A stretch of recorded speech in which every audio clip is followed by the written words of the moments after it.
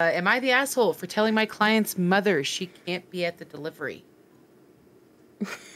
Client, what? Probably like the this. She's probably like the um, um, birther. You know, I love I love hearing the like because we just go off the title, so I love hearing like your opinion of it, like just with the title. It's oh my favorite every time. I'm always like, what is Chelsea gonna say? What's she gonna think of this? What does she think?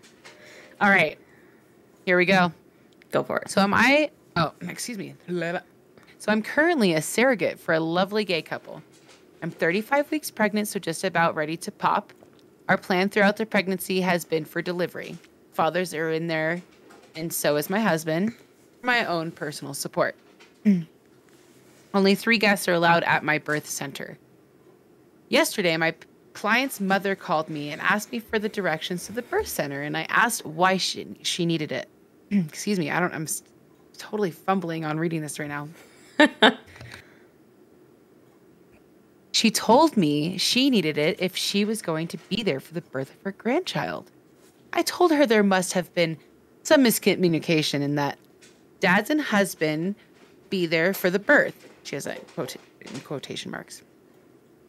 She said the dads encouraged her to reach out to see if I would mind having my husband stay home so she can see the birth of her grandchild. She protested some, but I told her that even though this is not my baby to keep, I'm still going through a medical procedure and would like my support person with me. She hung up, and the dads called me and told me I was unreasonable and rude towards his mother for no reason, and that they should be able to decide who is in the delivery room since it's their baby. Am I the asshole? No.